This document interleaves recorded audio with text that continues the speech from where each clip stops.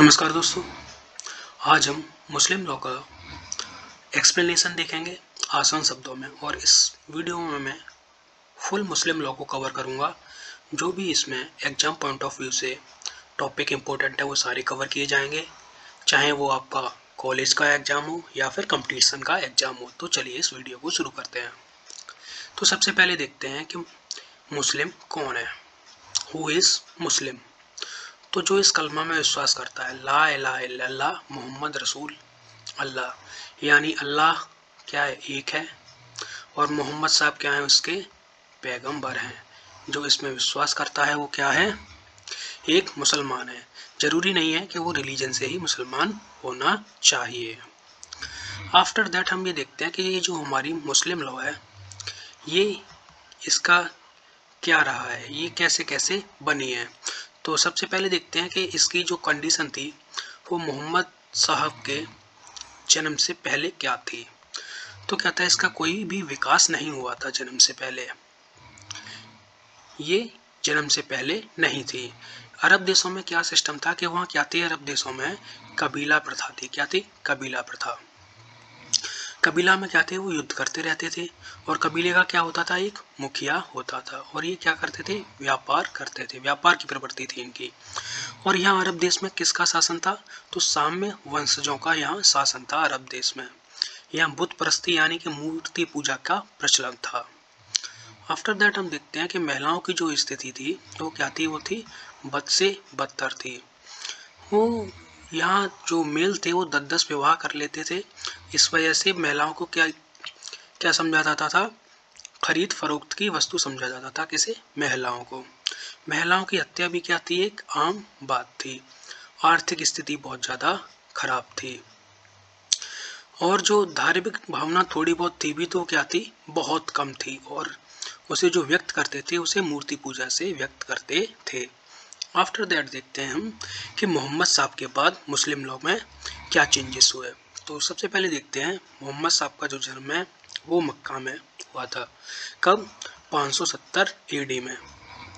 मोहम्मद साहब के जो दादा थे, उनका नाम क्या था? उनका नाम था मुतालिब। और मुतालिब जो दादा थे इनके इनके क्या थे? दस पुत्र थे। और जो इनमें दस पुत्रों में से एक पुत्र थे इनके अब्दुल्ला, जो कि क्या थे? मोहम्मद साहब के पिता थे और मोहम्मद साहब के पिता की मृत्यु इनके जन्म से पूर्व हो गई थी। इनकी जो माता थी, उनका नाम क्या था? अमीना था और बाल्यकाल में ही इनकी माता की भी मृत्यु हो गई थी। आफ्टर दैट इनके दादा ने इनका पालन पोषण किया और उनकी भी मृत्यु इनके दो साल के ये थे, जब इनके दादा की मृत्यु हो गई। इनके चाचा अबू तालिब ने इनका लालन पालन किया। इन्हें 25 साल की उम्र में हीरा नाम की गुफा में क्या था? जिब्राइल, जो दूत थे, भगवान के, उनके द्वारा इन्हें देवीय संदेश की प्राप्ति हुई। किसकी? देवीय संदेश की।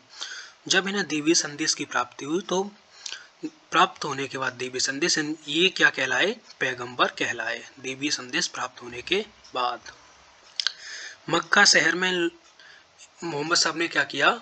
कि अपने जो संदेश थे उन्हें लोगों को देना शुरू किया। तो मोहम्मद साहब के संदेशों को मक्का शहर के लोगों ने नहीं माना। आफ्टर दैट क्या है कि मोहम्मद साहब ने मदीना की ओर पलायन किया और जब मदीना की ओर पलायन किया तो इस पलायन करने को ही क्या है? हिजर कहते हैं। और इसी से ही हिजरी सम्मत शुरू हुआ। और मोहम्मद साहब ने यहाँ कहाँ मदीना में आके संदेश फैलाए अपने जो भी देवीय संदेश थे और मदीना के लोगों ने मोहम्मद साहब की शिक्षा को माना। आफ्टर दैट मदीना से ही मुस्लिम धर्म का फैलना शुरू हुआ। अंतिम समय पे मोहम्मद साहब राजगद्दी पर भी बैठे और 670 ईस्वी में इनकी मृत्यु हो गई। अब इनकी मृत्यु के बाद में मुस्लिम समाज जो है, दो संप्रदायों में बट गया। एक सिया और एक सुन्नी।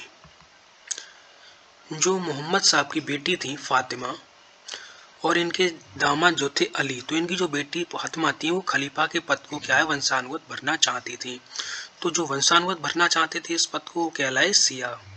तो इनके पहले जो खलीफा थे, वो थे अली, जो फ़र्स्ट खलीफा बने, जो दामाद थे, प्रॉफिट मोहम्मद के। उनके बाद उनके जो दो बेटे थे, हसन और हुसैन, ये दूसरे और तीसरे क्या बने?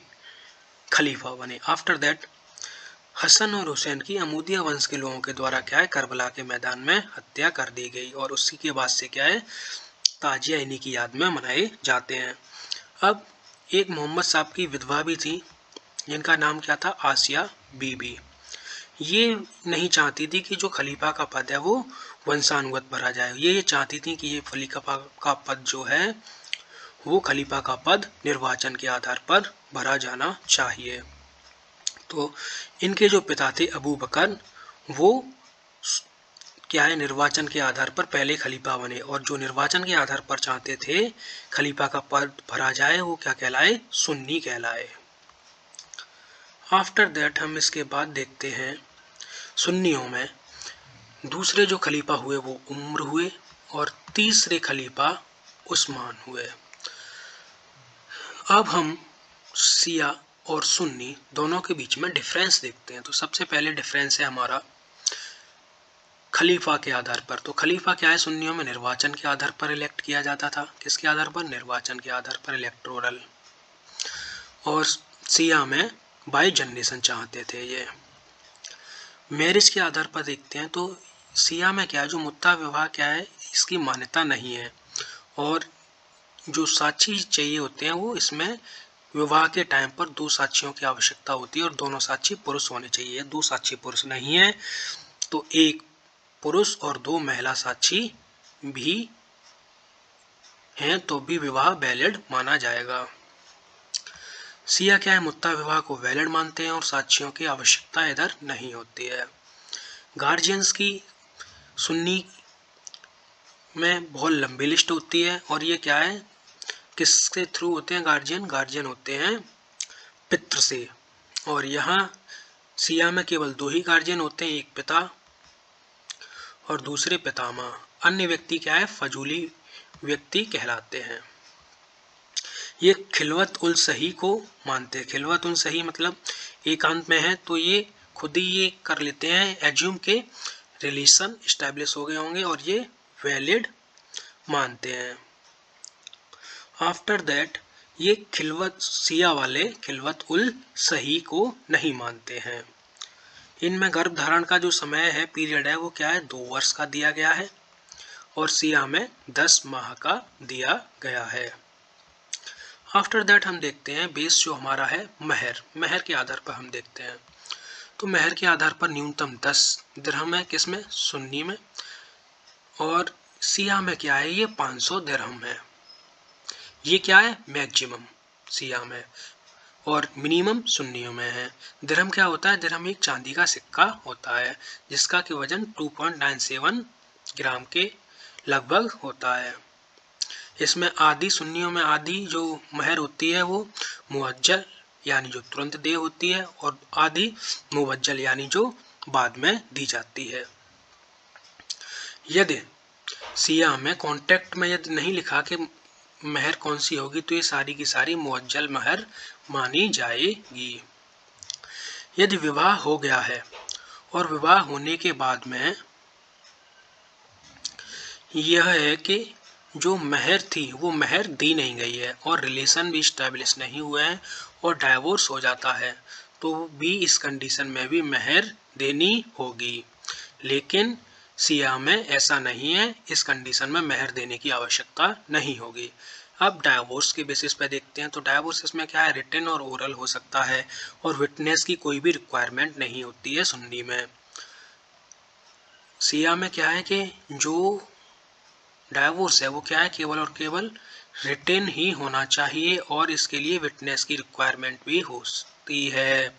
ये सिर्फ़ तलाक और सुन्नत को मानते हैं, और सुन्नी, तलाकुल सुन्नत और तलाकुल बिद्दत, यानी तहरी तलाक को मान्यता प्रदान करते हैं। सोर्सेस ऑफ़ लॉ जो मानते हैं, वो ये सुन्नी फाइव सोर्सेस मानते हैं। पहला कुरान, दूसरा सुन्नत और अहदीस, तीसरा इजमा, चौथा कयास और पांचवा कस्टम। सिया वाले तीन मेन सोर्सेस को मानते हैं, कुरान, सुन्नत और अहदीस एंड लास्ट वन तर्क।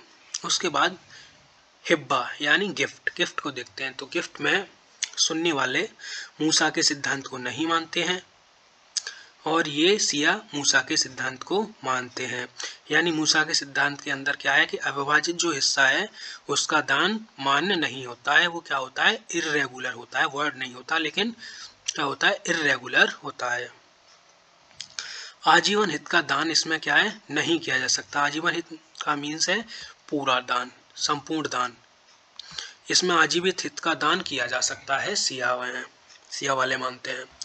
कब्जे का प्रदान क्या है? न्यायालय के द्वारा क्या है? जैसे दे दिया जो दान, उसका जो रिवोकेशन है वो करवाया जा सकता है। लेकिन जो पजेशन दे दिया है, ट्रांसफ़र कर दिया है, उसका रिवोकेशन विदाउट कोर्ट की डिग्री के भी करवाया जा सकता है। इसमें कोर्ट की डिग्री से करवाया जा सकता है, सुन्नी में सिया में विदाउट कोर्ट की डिग्री के भी करवाया जा सकता है।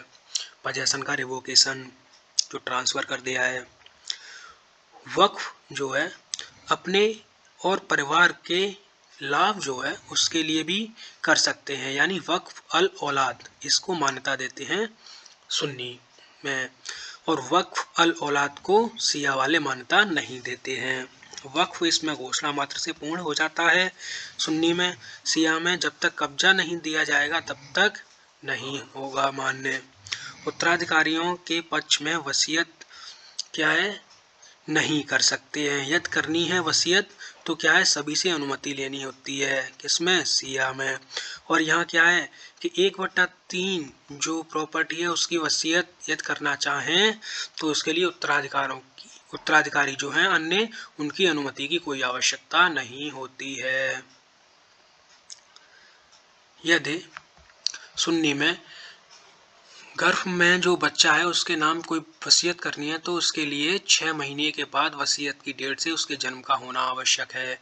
और इसमें जो इसने वसीयत की है, यदि उसकी डेथ हो जाती है तो उसके डेथ के बाद में दस महीने के अंदर उस बच्चे के जन्म का होना आवश्यक है। अब मातृत्व लाभ की बेसिस पे देखते हैं। यदि कोई भी विवाहिता जो है, वो पर पुरुष से किसी बच्चे को जन्म देती है तो माता संरक्षक मानी जाएगी किसमें सुन्नी के अकॉर्डिंग और इसमें न फादर न मदर कोई भी संरक्षक नहीं माने जाएँगे किसमें? सिया के अकॉर्डिंग गार्जियनशिप यानी हिजरत का जो सिद्धांत है, उसमें सात वर्ष तक के लड़के को और वयस्कता जब तक लड़की प्राप्त नहीं कर सकती है, तब तक क्या है? माता की कस्टडी में रहेगी, ये सुन्नी में है। आफ्टर दैट सिया में क्या है कि दो वर्ष तक तो लड़का ही को माता कस्टडी में रखेगी और लड़की को कब तक रखेगी? सात वर्ष तक लड़की को अपनी कस्टडी में रखेगी। इसी प्रकार से हक सुफा में देखते हैं। हक सुफा का मतलब है क्रय के बाद में भी खरीदने का जो अधिकार है, उसे कहते हैं हक सुफा का अधिकार। तो ये तीन अधिकार दिए हुए हैं। शरीक सफ़ीक एक खलीद सफ़िए चार। ये तीन अधिकार किसमें दिए हुए हैं? सुन्नी में दिए हुए हैं। जबकि सिया में केवल और केवल सफ़ी ए शरीक यानी कि केवल दो हैं तो ही जॉइंट तो ही बाद में उसे खरीद सकते हैं अन्यथा नहीं। आफ्टर दैट उत्तराधिकारी जो हैं। तो उत्तराधिकारी इसमें तीन माने गए सबसे पहले हिस्सेदार हिस्सेदार नहीं है तो शशांक में बटेगी, और वो नहीं है तो दूर के नातेदार। और केवल केवल सिया में केवल दो माने गए हैं, हिस्सेदार और शेषांग दूर के नातेदार का कोई भी रोल नहीं है। ये सी, सुनने वाले क्या है? ज्येष्ठ जो पुत्र होता है, उसे अधिकार को मान्यता नहीं देते हैं। सिया वाले ज्येष्ठ पुत्र के अधिकार को मान्यता देते हैं। यदि इसमें प्रॉपर्टी लेने के लिए, सुन्नी में किसी ने हत्या कर दी है, किसी व्यक्ति की प्रॉपर्टी लेने के लिए, हिस्से के लिए, चाहे वो इंटेंशन से की हो, या विदाउट इंटेंशन की हो तो उसे क्या है? प्रॉपर्टी से बेदखल कर दिया जाएगा, उससे कोई भी प्रॉपर्टी नहीं मिलेगी। यदि उसने इंटेंशन से की है, सिया में तो उसे नहीं मिलेगी। इंटेंशन से की है और विदाउट इंटेंशन हत्या कर दिया तो उसे प्रॉपर्टी मिल सकती है। आफ्टर दैट इम्पोर्टेंट टॉपिक देखते हैं हम। इसके बहुत ज़्यादा चांस हैं पेपर में आने के। सोर्सेस ऑफ़ मुस्लिम लॉ तो सोर्सेस ऑफ़ मुस्लिम लॉ में दो तरह के सोर्सेस हैं। एक है हमारा प्राइमरी सोर्स आफ्टर दैट है हमारा सेकेंडरी सोर्स तो प्राइमरी सोर्स में सबसे पहले है कुरान, फिर सुन्नत एंड अदीस फिर इजमा, कयास आफ्टर दैट कस्टम तो सबसे पहले कुरान में देखते हैं। कुरान में क्या है? मोहम्मद साहब के द्वारा जो देवीय संदेश उन्हें मिले थे, उन देवीय संदेशों को कोडिफाई किया गया किसके द्वारा? अबू बकर के द्वारा। इन्हें जो देवी संदेश मिले थे, वो जिब्राइल दूत के द्वारा मोहम्मद साहब को मिले थे। और ये जो कहाँ मिले थे? हीरा नाम की जो गुफा थी, उस हीरा नाम की गुफा में मिले थे। इसमें कुरान में छः हज़ार छः सौ छियासठ आयतें हैं, जिसमें से 200 जो आयतें हैं, वो लॉ से रिलेटेड हैं। 30 इसमें चैप्टर हैं और उन 200 जो आयतें हैं, उनमें से 80 आयतें क्या हैं? फैमिली से रिलेटेड हैं 80 आयतें। आफ्टर दैट हम देखते हैं सुन्नत और अहदीस। तो सुन्नत और अहदीस में पहले डिफरेंस देखते हैं। तो अहदीस जो होती है, वो केवल, वो एक ऐसी परंपरा, विशेष परंपरा या घटना होती है, जिसका जो उदाहरण है, वो या तो कहानी के रूप में दिया गया है, या फिर कथा के रूप में दे दिया गया है। अब इस जो कहानी और कथा से कोई जो लॉ निकल के आया, कोई क्या निकल के आया? लॉ निकल के आया है। तो उस लॉ को क्या कहते हैं हम? सुन्नत कहते हैं। तो ये सुन्नत तीन पार्ट्स में डिवाइड है। एक सुन्नत उल फैल, सुन्नत उल कौल और सुन्नत उल तकरीर।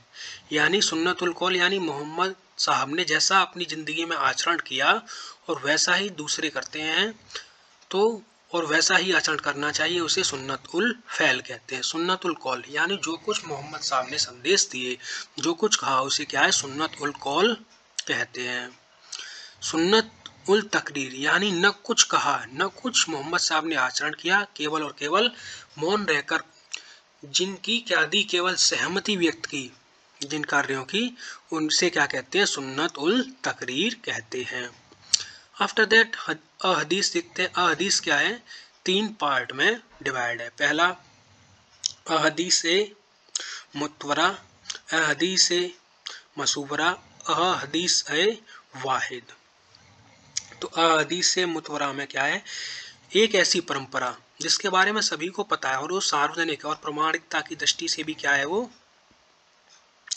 है, खरी है प्रमाणिकता की दृष्टि से भी तो उसे क्या कहते हैं? अहदीस मुतवरा ए हदीस मुत मसूवरा का मतलब है कि अधिकांश लोगों को इसका ज्ञान तो है, लेकिन उसे फॉलो नहीं करते हैं, यानी सभी लोगों को नहीं है इसका, सार्वजनिक, बहुत से लोगों को नहीं है इसका ज्ञान। हदीस ए वाहिद, इसमें क्या है? इसका जो ज्ञान है वो बहुत कम लोगों को ही है। इसका ज्ञान इसे हदीस वाहिद कहते हैं। आफ्टर दैट आता है इजमा। इजमा क्या है? कि यदि कोर्ट में कोई भी केस है जो कुरान से, सुन्नत और अहदीस से, इन दोनों से जो केस है, उसका जो इशू है वो इन दोनों में क्या है? बताया नहीं गया है। तो अनुसरण करके कोर्ट क्या है? राय लेगा। अब ये राय किसकी लेगा कोर्ट? सबसे पहले किसकी लेगा पैगंबर के साथियों का इजमा लिया जाएगा। तो पैगंबर के साथियों का जो इजमा लिया जाएगा, उसके बाद उनके उत्तराधिकारियों को इजमा सक्सेसर का और उनके भी सक्सेसर का इजमा, यानी तीन का इजमा इसमें वैलिड है। आफ्टर दैट लॉ एक्सपर्ट का इजमा जब लिया जाएगा आफ्टर दैट जनता का इजमा। अब जनता का जो इजमा होना चाहिए, वो जनता कौन सी होनी चाहिए? मुस्लिम होनी चाहिए। और उसे जनता को उस विषय के बारे में जानकारी होनी चाहिए। और ये जो निर्णय है, ये बहुमत के आधार पर लिया जाएगा। आफ्टर दैट इन कयास। कयास का मतलब है जब इन दोनों में, पहले और दूसरे में कुछ चीज़ें नहीं हैं तो क्या है? कोर्ट क्या करेगा? कुछ रीजनेबल अपने लॉजिक लगाएगा और ये लॉजिक फ़र्स्ट और सेकंड के बेसिस पर ही लगाएगा। यानी कुरान और सुन्नत और अहदीस के बेसिस पर लगाएगा निर्णय और उसके बाद उस मैटर में क्या है? वो अपना निर्णय देगा। कस्टम्स, यानी रीति रिवाज कुछ रीति रिवाज इस कुरान में तो थे, लेकिन इस कुरान में क्या कोडिफाई नहीं हो पाए और ये नियमित थे। और इनका जो दर्जा होता है रीति रिवाज का, ये इजमा के बराबर है। किसके? इजमा के बराबर है। और ये कयास से क्या है? ऊपर है। कयास से क्या है ये? ऊपर है। और ये क्या है यूनिवर्सल है? यानी सर्वव्यापक है। ये रीजनेबल है। और ये क्या नहीं होने चाहिए? ये कुरान, सुन्नत और अहदीस के एडवर्स नहीं होने चाहिए, ये जो कस्टम है। उसके बाद हम देखते हैं सेकेंडरी सोर्सेस तो सेकेंडरी सोर्सेस में क्या है? कि सबसे पहले जो निर्णय दिए जाते हैं, वो equity justice and good conscience पे दिए जाते हैं। यानी साम्य, न्याय और शुद्ध अंतकरण से न्याय, ये निर्णय दिए जाते हैं। क्योंकि ब्रिटिश जो लॉ थे, उन्हें हमारे लॉ के बारे में नहीं पता था तो वो इस पर, इसके बेसिस पर निर्णय देते थे। उसके बाद लेजिस्लेशन, यानी लेजिस्लेशन के द्वारा जो भी बनाए गए हैं, लॉ, उसके अकॉर्डिंग निर्णय दिए जाएँगे। मुस्लिम लॉ क्या है? एक पर्सनल लॉ है। आफ्टर दैट जो प्रेसिडेंट और जुडिशियल डिसीज़न है, जो पूर्व जो निर्णय लिए गए हैं, उसके अकॉर्डिंग दिए जाएँगे निर्णय। आफ्टर दैट हम ये नेक्स्ट टॉपिक देखते हैं, जो बहुत ही इम्पोर्टेंट टॉपिक है हमारा। Essential elements of Muslim marriage यानी मुस्लिम विवाह के आवश्यक तत्व। तो क्या है आवश्यक एलिमेंट्स जो हैं? तो सबसे पहला है प्रपोजल एंड एक्सेप्टेंस तो प्रपोजल एंड एक्सेप्टेंस में क्या होना चाहिए? प्रपोजल कैसे होनी चाहिए? हमारी सबसे पहले प्रपोजल में पक्षकार जो हैं पार्टीज़ हैं, उसकी क्या होनी चाहिए? प्रेजेंस होनी चाहिए, उपस्थिति होनी चाहिए पक्षकारों की। अब ये पक्षकार कौन होने चाहिए? जो पार्टी हैं वो मुस्लिम होने चाहिए और दो होने चाहिए और एक समय और एक ही जगह में होने चाहिए वो पक्षकार। यानी कि जो उनकी कंसेंट है वो एक ही टाइम और एक ही प्लेस पर होनी चाहिए। एक बैठक, यानी कि एक क्या उनकी सिटिंग होनी चाहिए और इस सिटिंग में क्या है कि जो प्रपोजल दिया गया है प्रपोजल देने के साथ ही एट प्रेजेंट ही उसकी कंसेंट भी दे देनी चाहिए। जब तक ये एट प्रेजेंट कंसेंट नहीं दी जाएगी तो क्या होगा वो वैलिड प्रपोजल नहीं होगा। और ये जो कंसेंट दी जानी चाहिए, क्या है? स्वतंत्र कंसेंट होनी चाहिए। और ये स्वतंत्र कंटेंट क्या है? सेक्शन 14 में दी हुई है कॉन्ट्रैक्ट के। उसके अकॉर्डिंग स्वतंत्र सहमति होनी चाहिए। जैसे डरा और धमका के नहीं होनी चाहिए। आफ्टर दैट जो विटनेस है, उनकी उपस्थिति होनी चाहिए। ये सुन्नी कहते हैं कि दो विटनेस होने चाहिए और ये जो विटनेस होने चाहिए वो कैसे होने चाहिए? ये मेजर होने चाहिए साउंड माइंड होने चाहिए और मुस्लिम होने चाहिए। आफ्टर दैट देखते हैं हम कैपेसिटी फॉर मैरिज यानी कैपेसिटी क्या है मैरिज की? क्या होनी चाहिए? वयस्क होनी चाहिए जो मैरिज कर रहे हैं। इसमें इंडियन मेजोरिटी एक्ट 1875 लागू नहीं होता है। सुन्नी कहते हैं कि जो मेल और फीमेल है, इनकी मेजोरिटी की एज कितनी होगी? पंद्रह साल होगी। और सिया कहते हैं, मेल की पंद्रह साल होगी और फीमेल की एज ऑफ़ पोवर्टी होगी। आफ्टर दैट जो एज है ये पंद्रह साल, ये मुस्लिम लॉ में तीन के लिए है। एक विवाह के लिए डाइवोर्स के लिए, महर। इन तीनों के लिए एज पंद्रह साल है। इन तीनों के लिए। आफ्टर दैट क्या होना चाहिए? कैपेसिटी के लिए वो स्वस्थ चित्र, यानी साउंड माइंड होना चाहिए। अनसाउंड माइंड नहीं होना चाहिए, अनसाउंड माइंड है तो मैरिज क्या होगी वो? इरेगुलर होगी, न के वर्ल्ड मैरिज होगी। तीन तरह की एज दी हुई हैं।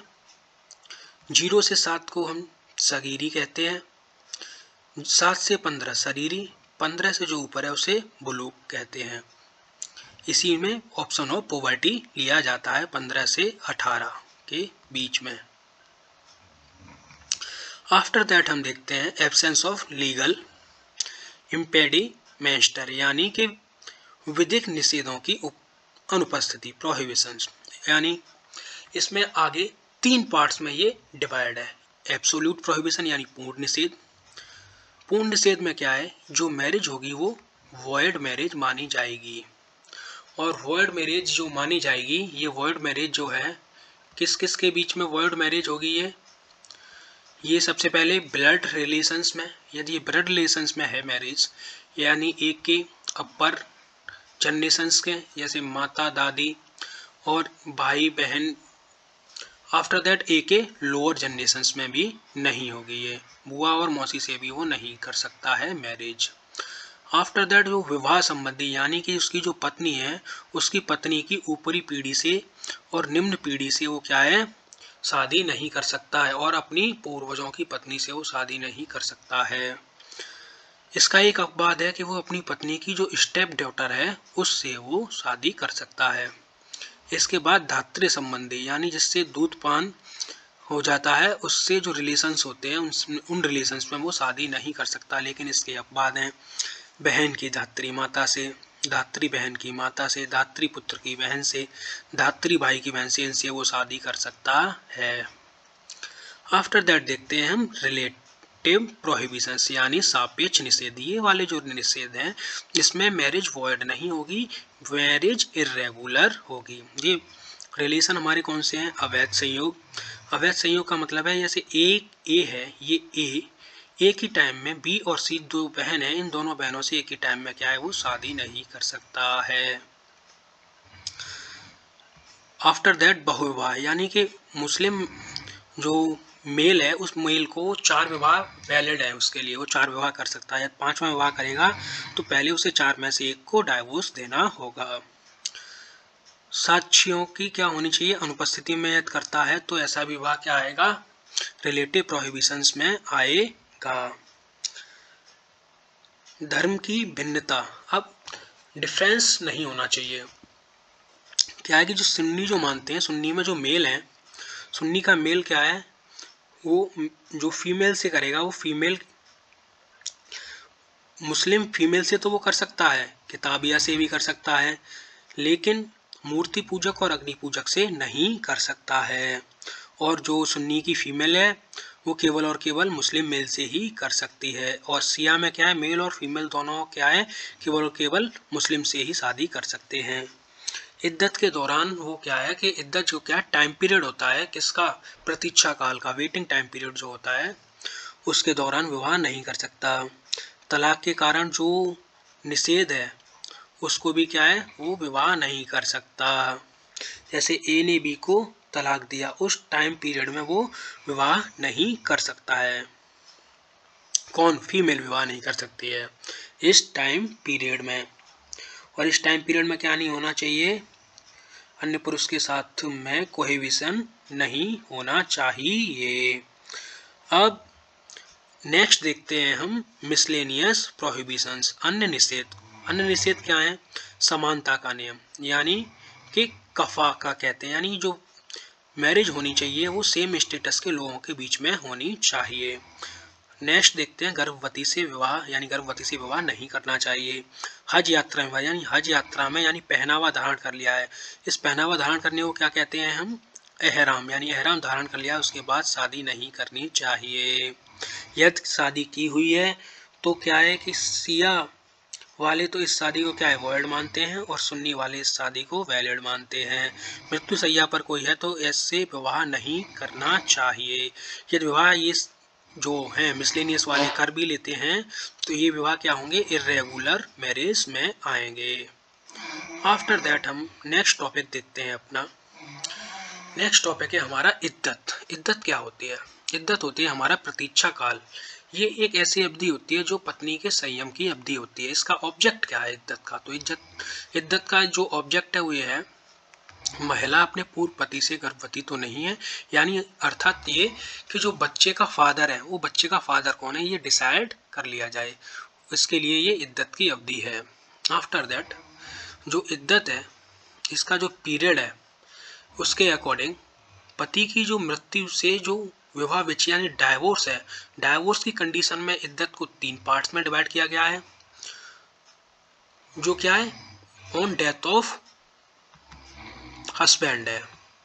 और जो डाइवोर्स से है, उसे भी फर्दर ये डिवाइड किया गया। तो सबसे पहले देखते हैं, पति की जो मृत्यु हो जाती है, उस टाइम में इद्दत तीन टाइप की है। पहली इद्दत, चार माह दस दिन की रखनी होगी। नॉर्मली यदि पति की मृत्यु हो जाती है तो यदि उसके कोई संतान है, पति से उससे तो यह संतान की उत्पत्ति या चार माह, दस दिन जो भी अधिक हो तब तक इद्दत काल रखा जाएगा।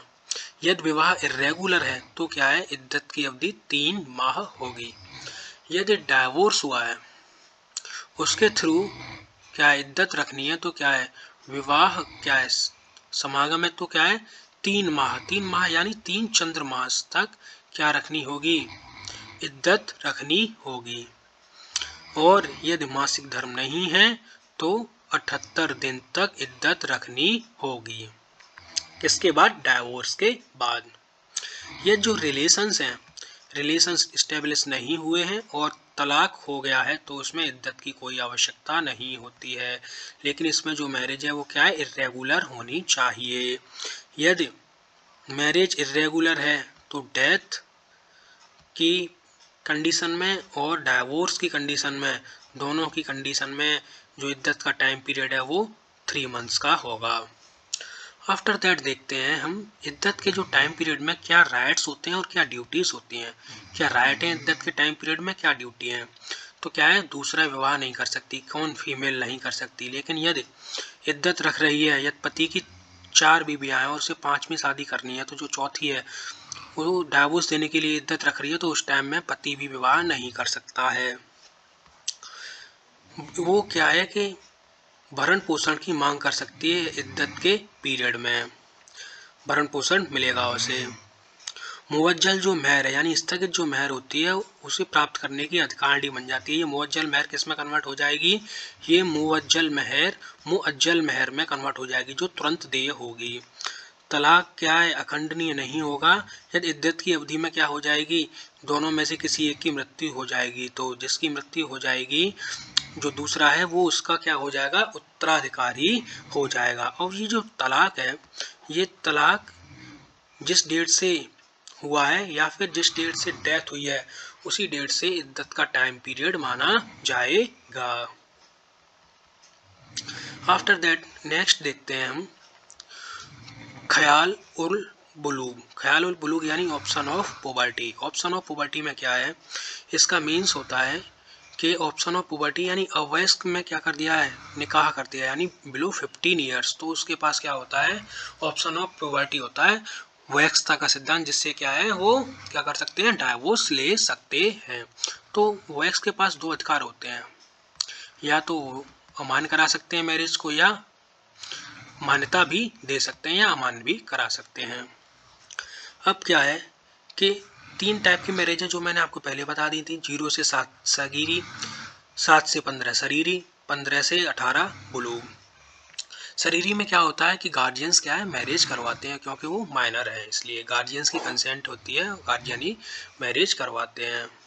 और मेजर बनने पे क्या है? ये पंद्रह से अठारह के बीच में क्या है? डाइवोर्स के लिए मांग कर सकते हैं। डाइवोर्स ले सकते हैं। अब क्या है? इसके लिए कुछ कंडीशन है इम्पोर्टेंट कंडीशन है। कब? ऑप्शन ऑफ़ पोवर्टी की मांग कर सकते हैं। तो क्या है? जो मैरिज हुई है, वो पंद्रह साल से पहले हुई है मैरिज और जो संरक्षक जो है, निकाह का, निकाह संरक्षक के द्वारा क्या है? करवाया गया है। आफ्टर दैट पक्षकारों में क्या है? फिफ्टीन ईयर्स से बाद में रिलेशंस नहीं है।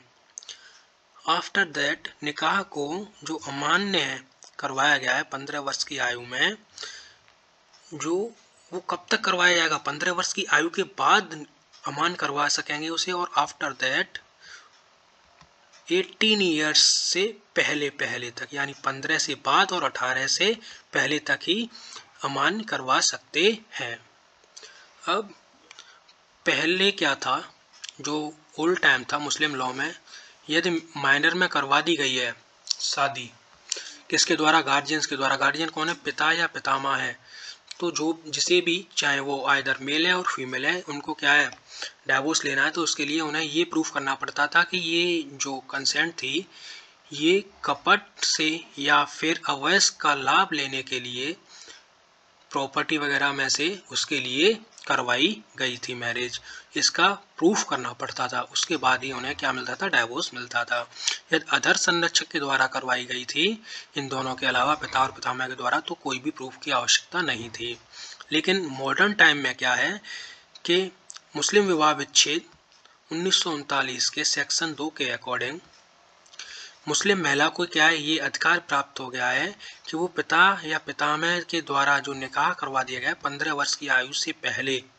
तो उसमें क्या है कि विदाउट रीजन बिना कारण बताए वो क्या कर सकती है? इस मैरिज को अमान्य घोषित कर सकती है। लेकिन अभी जो मेल है, मेल को पुराना वाला सिद्धांत ही क्या है? लागू है मेल पर। उसे पहले रीजन्स को क्या करना पड़ेगा? प्रूफ करना पड़ेगा। उसके बाद ही वो डाइवोर्स के लिए अप्लाई कर सकता है। और डाइवोर्स जिस डेट से डिग्री क्या है, हुई है, ऑर्डर आया है डिग्री उसी डेट से माना जाएगा। यदि केस के दौरान किसी एक की क्या डेथ हो जाती है तो दूसरा पहले का क्या बन जाएगा? उत्तराधिकारी बन जाएगा। यदि पत्नी को क्या है? अधिकार की समाप्ति कब हो जाएगी? पत्नी के अधिकार की समाप्ति जब हो जाएगी यदि यदि फ्री कंसेंट से उन्होंने क्या है फ़िज़िकल रिलेशन स्टैब्लिश कर लिए हैं कब? आफ्टर फिफ्टीन ईयर्स एज के बाद में। यदि उसे नॉलेज है और फिर भी उसने 18 वर्ष तक की आयु के होने के बाद भी अपना क्या नहीं लिया है, इस अधिकार का प्रयोग नहीं किया तो उसका ये अधिकार खत्म हो जाएगा। पति के अधिकार की समाप्ति जब हो जाएगी, जब उसने क्या है, मेहर जो थी उसका भुगतान कर दिया है या फिर फ़िज़िकल रिलेशनशिप इस्टेब्लिश कर ली है। After that next point next topic देखते हैं हम। मेहर, यानी कि डोअर। ये बहुत ही इम्पोर्टेंट टॉपिक है। सबसे पहले, मेहर क्या होती है? मेहर की डेफिनेशन देखते हैं। तो मेहर की डेफिनेशन अब्दुल कादिर वर्सेस सलीम माँ बेगम वाले केस में दी गई थी। मेहर क्या है? एक धनराशि है जो पति द्वारा विवाह के प्रतिफल के रूप में दी जाती है। किसे दी जाती है? पत्नी को दी जाती है। अब्दुल रहीम कहते हैं कि ये जो प्रतिफल है, ये प्रतिफल नहीं है, बल्कि सम्मान के रूप में दी जाती है लेडी के। विल्सन कहते हैं, मेहर पत्नी द्वारा शरीर के समर्पण का क्या है? प्रतिकर है। इसमें सबसे जो इम्पोर्टेंट और सबसे बेस्ट डेफिनेशन है वो अब्दुल रहीम की है। ये क्या है? ये प्रतिफल नहीं है कंसिडरेशन नहीं है, बल्कि क्या है? सम्मान के प्रतीक में दी जाने वाली एक राशि है। अब इसका कुछ ओल्ड हिस्ट्री देखते हैं। पहले क्या थी? जो मेहर थी वो दी जाती थी किसे माता पिता को। माता पिता को क्या है? मेहर दी जाती थी जो गिफ्ट दी जाती थी वो माता पिता को दी जाती थी। और उसके द्वारा जो पत, उसके बाद जो पत्नी को दी जाती थी जो गिफ्ट उसे कहते थे सादिक कहते थे। अब मेहर के प्रकार देखते हैं कितने टाइप की हमारी मेहर होती है। तो मेहर सबसे पहले देखते हैं हम। राशि के आधार पर, राशि के आधार पर दो टाइप की होती है। निश्चित मेहर यानी मेहर ए मुसम्मा, उचित मेहर या रिवजी मेहर मेहर ए मिसल। निश्चित मेहर स्पेसिफाइड डॉर और ये उचित यानी प्रॉपर डॉर अब इसमें क्या है कि जो मेजर्स हैं वो क्या है, निश्चित मेहर में पहले ही अपनी जो अमाउंट है, उसे डिसाइड कर लेते हैं, मेहर की कितनी अमाउंट होगी। यदि वो माइनर है तो उनके गार्जियन डिसाइड कर लेते हैं कब? विवाह के समय ही। अब यदि जो डिसाइड कर लिए वो माइनर थे, और माइनर होने के बाद में जब वो मेजर बने तो मेल क्या है, संपत्ति जो डिसाइड की गई थी देने की, मेहर की, उससे मना करता है तो सुन्नी में गार्जियन क्या है, उसका दाई नहीं होगा गार्जियन मेल की संपत्ति से ही वो दी जाएगी। सुन्नी में, सिया में क्या है कि गार्जियन दाई होगा मेल की संपत्ति से नहीं दी जाएगी, यदि मेल नहीं देता है तो। आफ्टर डेट जो उचित मेहर होती है, उचित मेहर में क्या है कॉन्टैक्ट के टाइम मैरिज क्या होती है? कॉन्टैक्ट होती है मुस्लिम मैरिज तो उसमें क्या कॉन्ट्रैक्ट के टाइम मेहर की राशि तय नहीं की गई तो ये मेहर क्या है कि जो ऊपर की पीढ़ी में कितनी मिली है मेहर, उसके अकॉर्डिंग जैसे बुआ की शादी में या फिर बड़ी बहन की शादी में कितनी मेहर मिली है, उसके अकॉर्डिंग वो मेहर तय की जाएगी। आफ्टर दैट देखते हैं मेहर की अवधि के आधार पर। तो मेहर की अवधि के आधार पर दो टाइप की मेहर होती है। एक प्रॉम्प्ट डोर होती है और एक डेफर्ड डोर प्रॉम्प्ट डोर यानी तुरंत दे जिसे कहते हैं मुअज्जल। मुअज्जल कहते हैं जैसे। एक होती है स्थगित, इसे क्या कहते हैं? डिफर्डोर यानी मुवज्जल, जो बाद में दी जाती है। मुवज्जल यानी जो तुरंत दे होती है।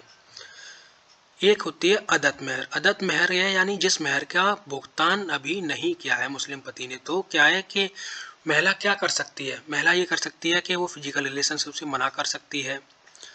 और उसके बाद क्या है कि मेहर का भुगतान नहीं हुआ है तो विधवा क्या है? वो ऋणी के रूप में मेहर का अधिकार ऋणी होती है। किससे? उसकी जो संपत्ति है, उस संपत्ति से, किसकी? यदि उसकी डेथ हो जाती है तो उसकी डिसीज्ड पर्सन की संपत्ति से यानी अपनी हस्बैंड की संपत्ति से। पत्नी क्या संपत्ति पर क्या कब्जा तो बना के रख सकती है? कब्जा बनाने का जो अधिकार होता है उसे। लेकिन उस कब्जे उस संपत्ति की मालिक नहीं कहलाएगी वो। और वो जब तक कब्जा करके रख सकती है जब तक कि उसकी इस राशि का मेहर की जो राशि है उसका भुगतान नहीं हो जाता है। और ये कब्जा क्या है? लगातार कब्जा होना चाहिए। यदि लगातार कब्जा नहीं होता है तो उस, उसका कब्जा फिर नहीं माना जाएगा। क्या मेहर की जो राशि है वो अंतरणीय होती है ट्रांसफरेबल होती है? मेहर की जो राशि है वो ट्रांसफरेबल नहीं होती है, लेकिन देने योग्य होती है। यदि महिला की मृत्यु हो जाती है तो उसके जो उत्तराधिकारी हैं, उनको वो मेहर की राशि मिलेगी। अब जो मेहर होती है वो तुरंत दिए है या फिर उत्तर भावी मेहर है? इसके संबंध में क्या है कि जो सिया वाले हैं वो क्या मानते हैं? जो मैरिज है, या डाइवोर्स है तो वो प्रॉम्प्ट डोर है, यानी तुरंत देनी होगी। और जो सुन्नी वाले मानते हैं यदि डाइवोर्स होता है तो आदि प्रॉम्प्ट डोर होती है मूव और आदि डेफर्ड होती है, मुँह वज्जल होती है और आदि मुँह अज्जल होती है। इसके बाद में हम देखते हैं कि जो मेहर की आवश्यकता है, मेहर की आवश्यकता क्यों पड़ी?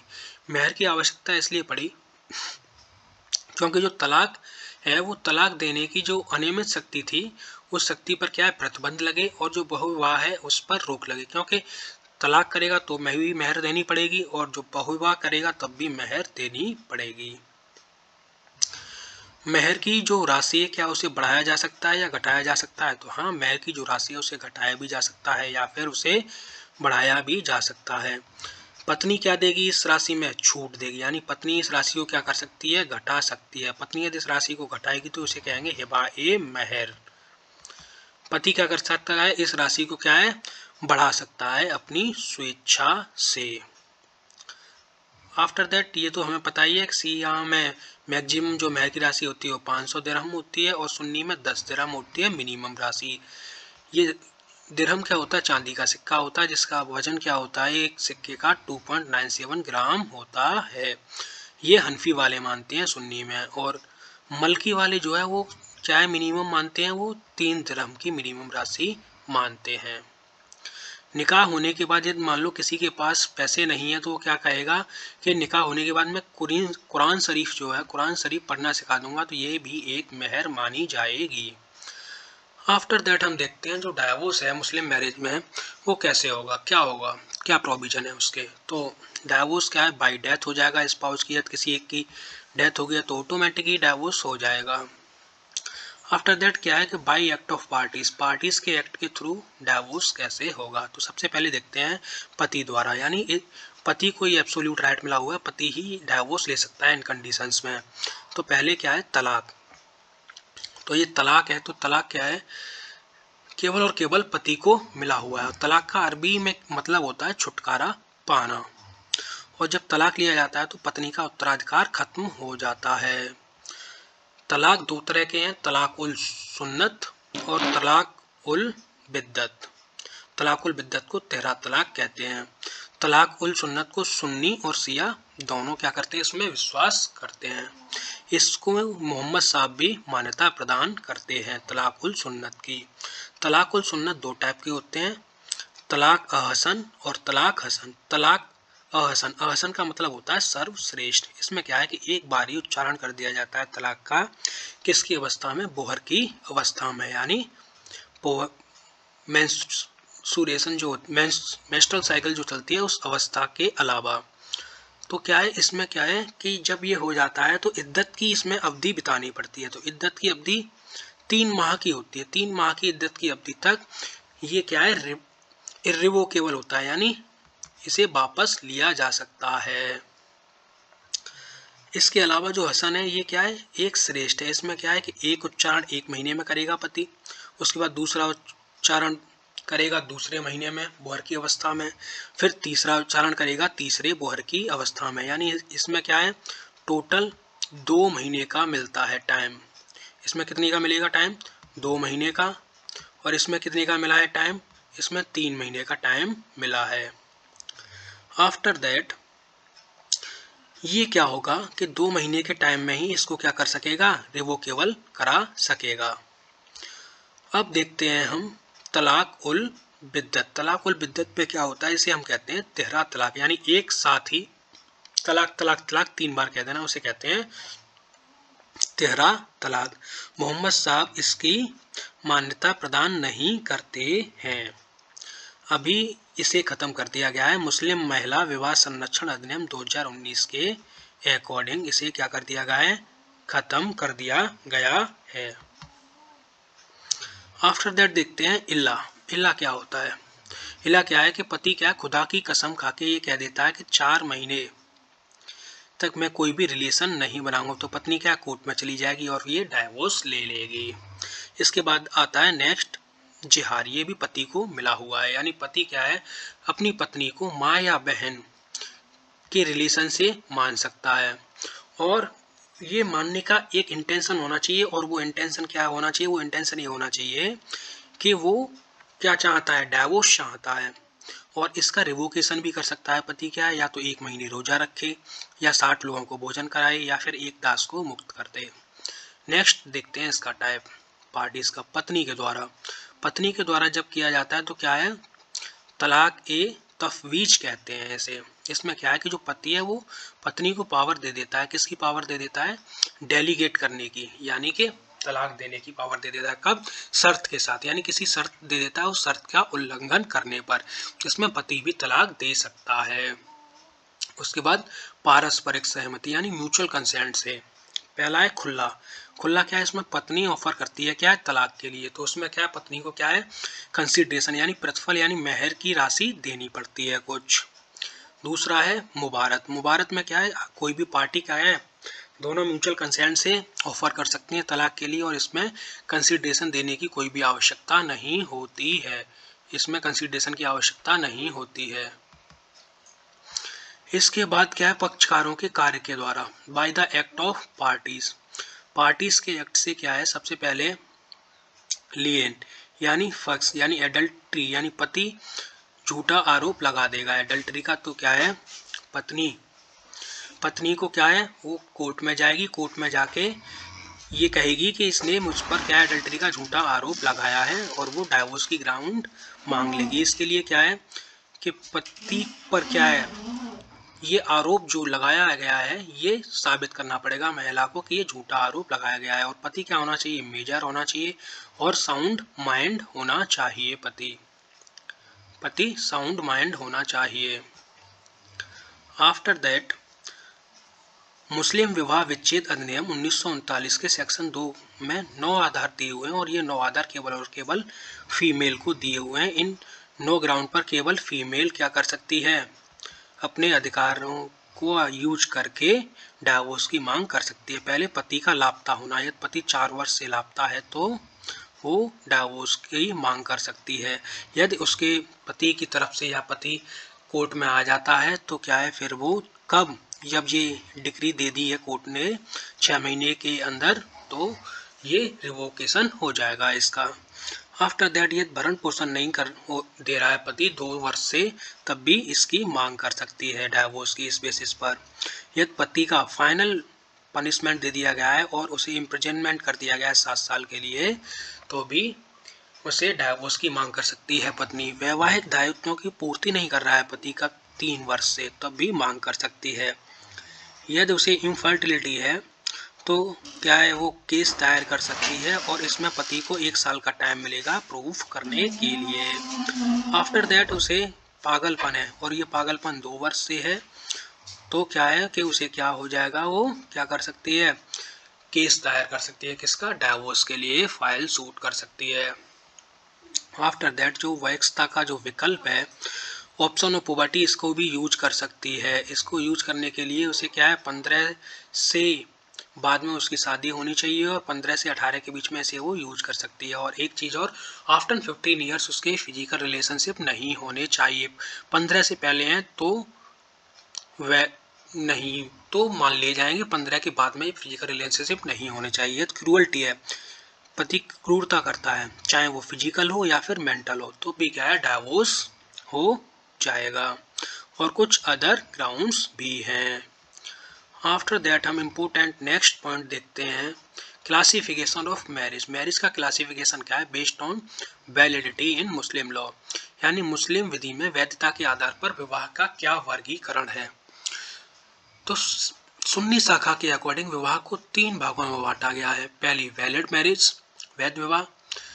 सेकंड इरेगुलर मैरिज यानी अनियमित विवाह. थर्ड वर्ल्ड मैरिज यानी शून्य विवाह.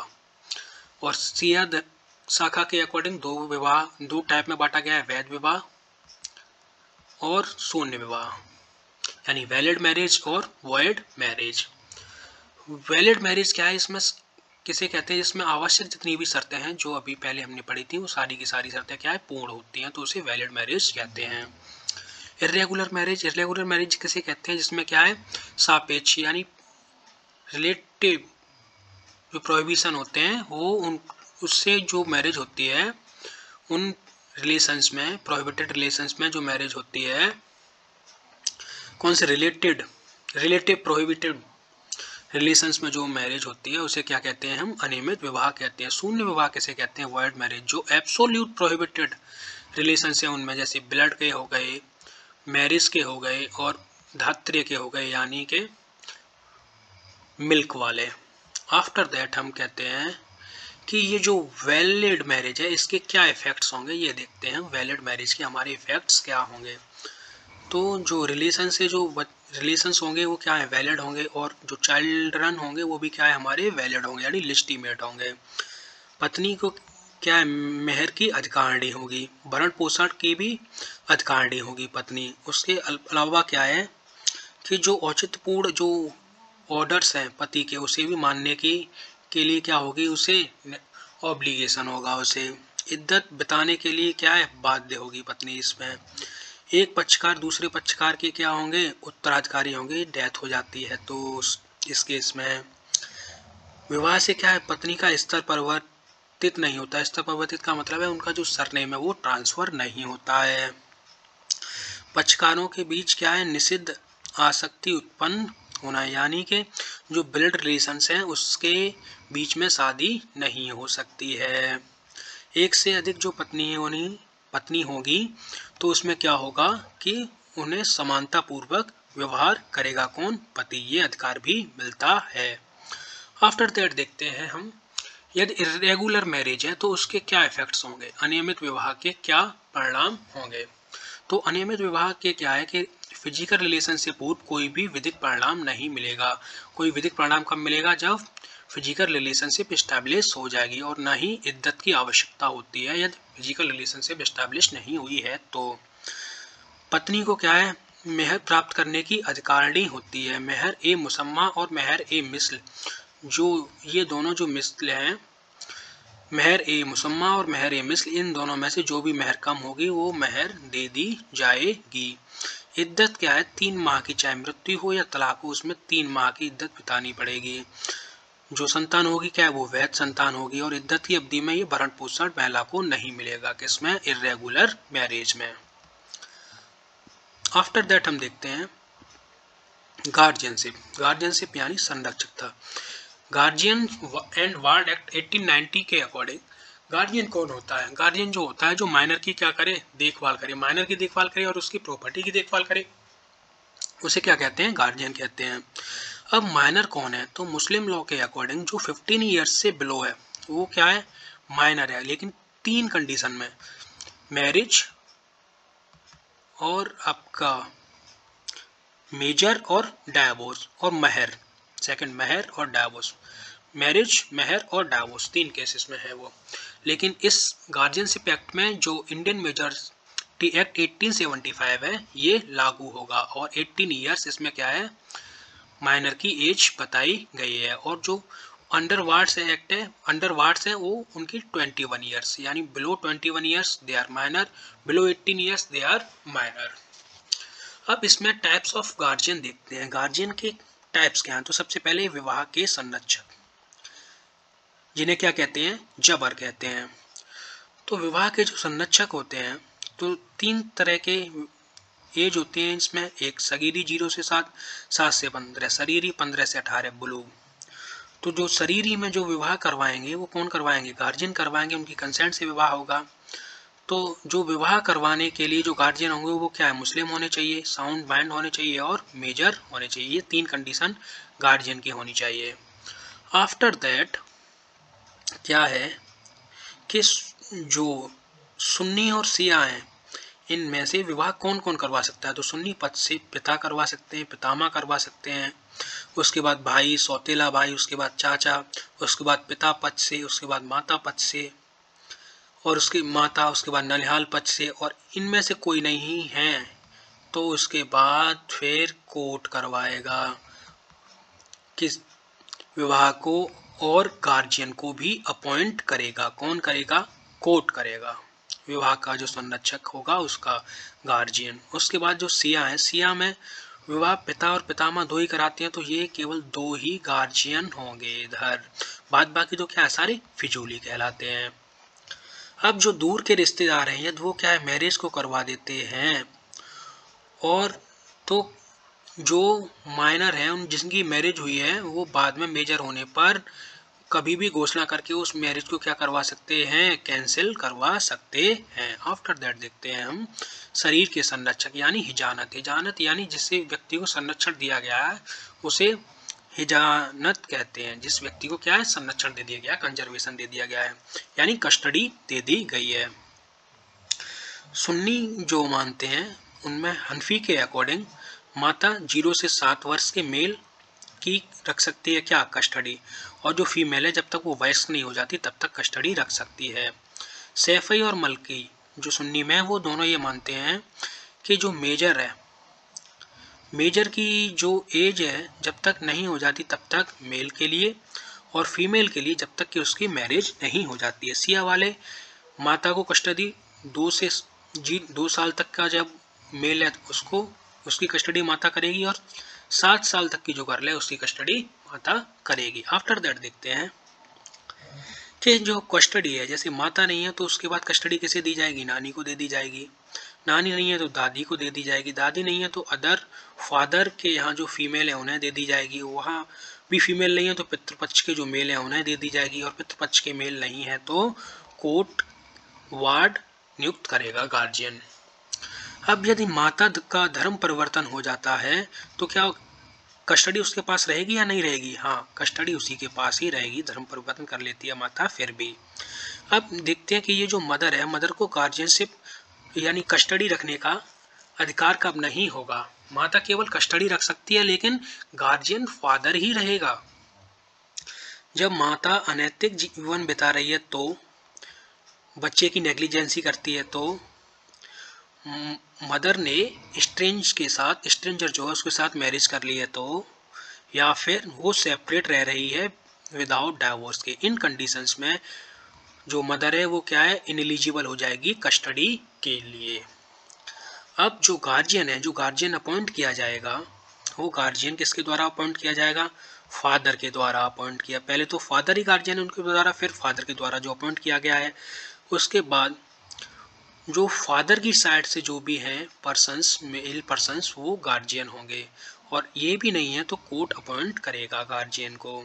यदि एक माइनर की मैरिज करवा दी जाती है तो क्या है कि जो कस्टडी होगी उसकी, वो जब तक वो मेजर नहीं हो जाती, वो उसकी मदर के पास ही रहेगी कस्टडी यदि इलीगल चाइल्ड है तो चाहे वो मेल है या फिर वो फीमेल है तो क्या होगा उसका?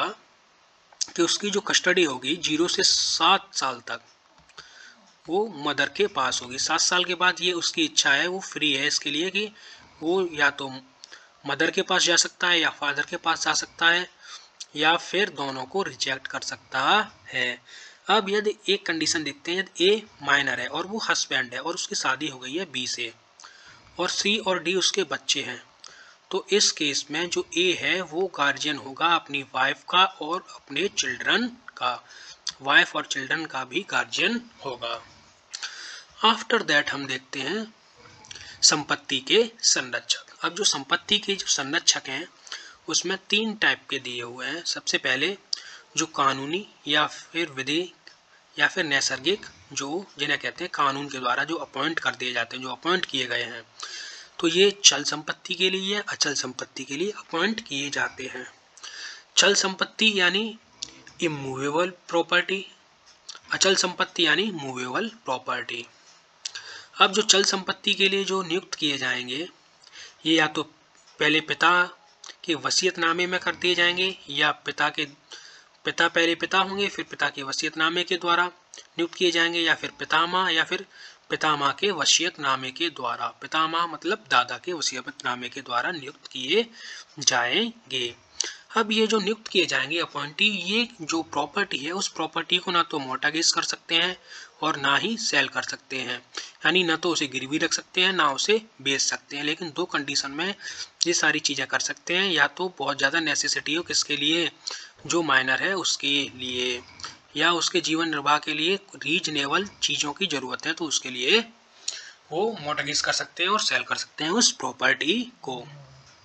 अब देखते हैं कि ये जो वसीयत के संरक्षक हैं, क्या ये विवाह करा सकते हैं?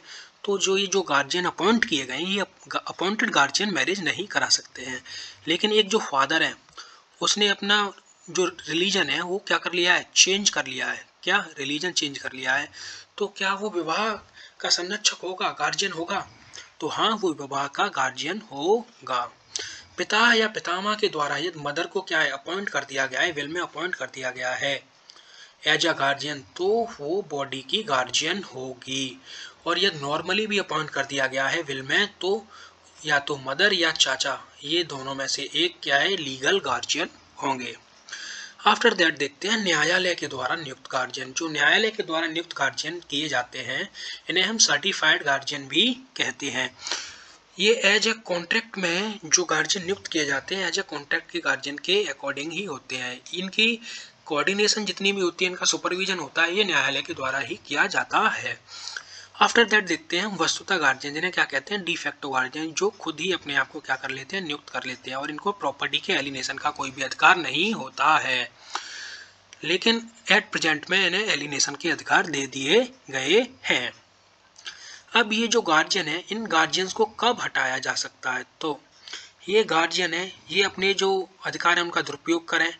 अपने जो कर्तव्य है, उनका पालन नहीं करें। देख रेख जो केयर है उसमें क्या करें? उपेक्षा करें नेग्लिजेंसी करें।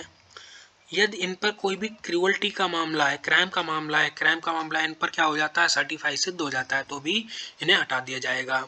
ये या फिर दिवालिया घोषित हो गए हैं, या फिर जो रह रहे थे, उन्होंने रहने का स्थान चेंज कर दिया है, तब भी ये हटा दिए जाएँगे गार्जियन आफ्टर दैट हम नेक्स्ट टॉपिक देखते हैं। इम्पोर्टेंट टॉपिक है हमारा हिब्बा। हिब्बा यानी गिफ्ट हिब्बा को दान भी कहते हैं। अब इसकी जो डेफिनेशन है, वो हृदय के द्वारा बहुत ही अच्छी डेफिनेशन दी हुई है। इसमें क्या है कि एक व्यक्ति के द्वारा दूसरे व्यक्ति को सबसे पहले तुरंत, बिना किसी विनिमय, यानी विदाउट एनी एक्सचेंज बिना एबज यानी विदाउट कंसिडरेशन बिना शर्त, यानी विदाउट कंडीशन संपत्ति का क्या किया जाता है? अंतरण, यानी कि एक्सचेंज ऑफ़ प्रॉपर्टी की जाती है। और जिसे दूसरा क्या कर ले? स्वीकार कर ले खुद, या उसकी तरफ़ से कोई भी अपॉइंटी स्वीकार करता है। तो उसे क्या कहते हैं हम? हिब्बा कहते हैं।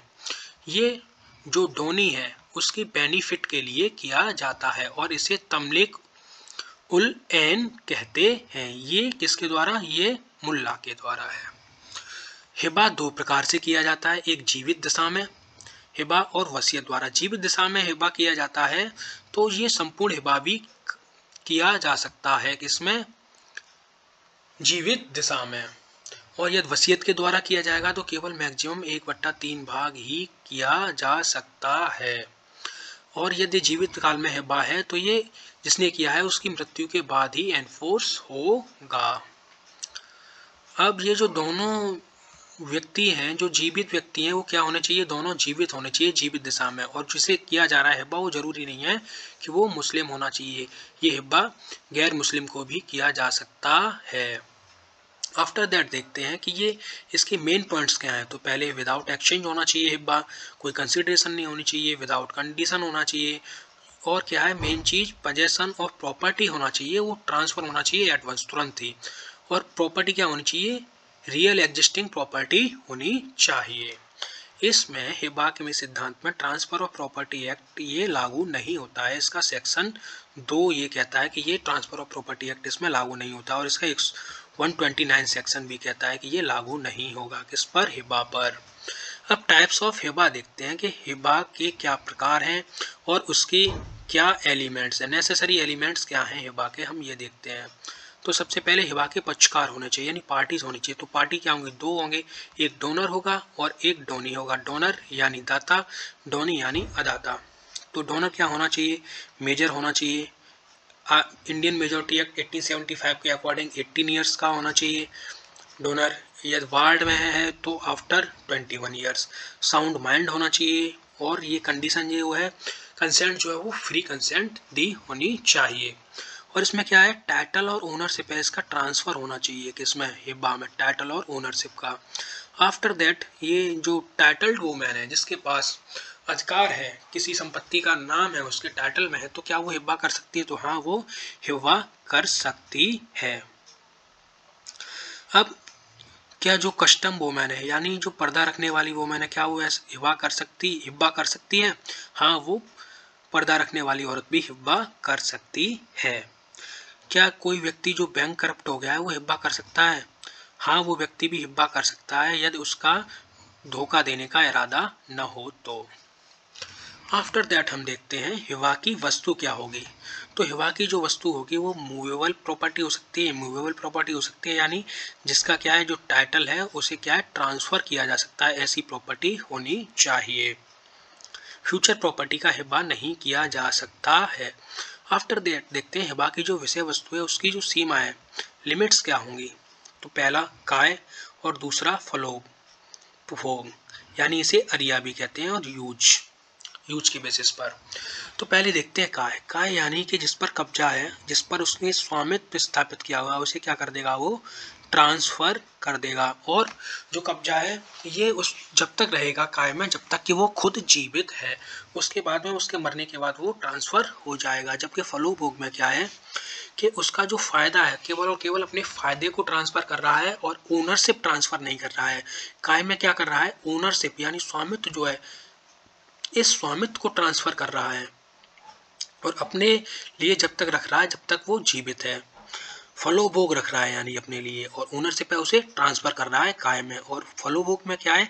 ओनरशिप अपने पास रख रहा है, लेकिन केवल और केवल जो प्रॉफिट है उसे ट्रांसफ़र कर रहा है।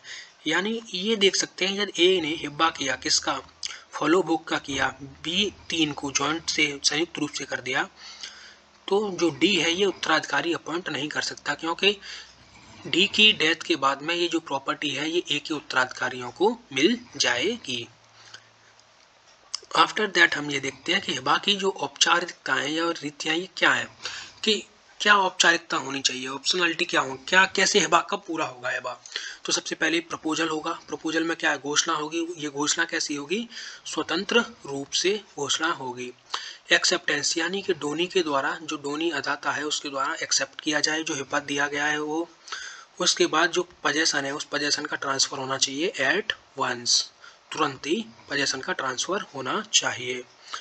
आफ्टर दैट हम देखते हैं कि जो कौन सी संपत्ति है जिसका ट्रांसफ़र किया जा सकता है। तो पहली मूवेबल प्रॉपर्टी चल संपत्ति, यानी जो कब्जा है, वो कब्जा ट्रांसफ़र होना चाहिए, यानी टाइटल है, वो ट्रांसफ़र होना चाहिए, यानी धन का भी किया जा सकता है। अचल संपत्ति यानी इमूवेबल संपत्ति का भी किया जा सकता है। अब कुछ एक्सेप्शन है, जिसमें कि क्या है पजेशन देना आवश्यक नहीं होता। ऐसा मान लिया जाता है कि केवल और केवल कहने से ही विदाउट पजेशन दिए केवल और केवल सहमति देने से ही क्या हो जाता है, इधर हिब्बा हो जाता है कंप्लीट पजेशन देना आवश्यक नहीं होता, यानी पागल या अवश्य व्यक्ति को। दाता और अदाता क्या है, दोनों एक ही संपत्ति में निवास करते हैं, जैसे फादर और सन है, उन दोनों की क्या है, एक ही प्रॉपर्टी है। तो क्या है इस केस में हिब्बा की, इस हिब्बा में क्या है जो गिफ्ट दिया जाएगा, इसमें ट्रांसफ़र की आवश्यकता नहीं होगी। पति और पत्नी दोनों को, दोनों किसी एक दूसरे को क्या दे देते हैं, गिफ्ट देते हैं तो उसमें ट्रांसफ़र की आवश्यकता नहीं होगी पजेशन की, क्योंकि दोनों को एक ही माना गया है। आफ्टर दैट देखते हैं, जहाँ से संपत्ति है, जो संपत्ति जिसके पास है और उसी को ही क्या है कि जो बेल के रूप में है, जिसके पास और उसे ही क्या कर देते हैं, हम हिबा कर देते हैं तो इसमें ट्रांसफ़र की आवश्यकता नहीं है किसकी? पजेशन की, क्योंकि वो पजेशन उसके पास पहले से ही है। इनविजिबल जो जैसे ट्रेडमार्क हैं, उनकी क्या इनविजिबल हैं तो उनके ट्रांसफ़र नहीं किया जाता पजेशन का। आंशिक प्रदान, यानी पार्सली कोई चीज़ किसी के पास है, जैसे एक मकान है और एक रूम में रह रहा है, एक तो मकान उसे दे रहे हैं गिफ्ट में तो वो ट्रांसफ़र करने की पजेशन की ज़रूरत नहीं है, क्योंकि वो पहले से ही उसमें रह रहा है। जमींदार के गाँव। ये पहली प्रथा थी, जैसे कि गाँव है, जमींदार के तो जो जमींदार है, वो किसी गाँव वाले के व्यक्ति को क्या कर सकता है?